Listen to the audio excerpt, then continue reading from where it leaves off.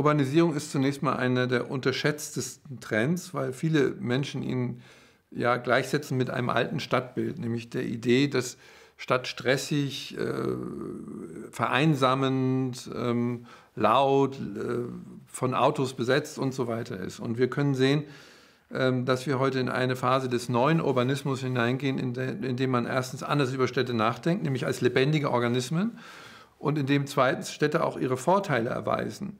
Ich selbst bin in einer Großstadt in Deutschland groß geworden, ähm, vor der wir alle das Gefühl hatten, dass sie in den 70er Jahren krank war. Also das Zentrum war tot, um äh, 6 Uhr ist nichts mehr passiert in der Innenstadt.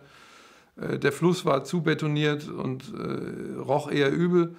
Ja, heute haben wir im Sinne des neuen Urbanismus eben eines entdeckt, dass es Menschen sind, die die Stadt ausmachen und dass diese Menschen durch eine Vielfalt und durch Kultur ähm, eine Menge auch Leben in die Stadt selbst hineinbringen können.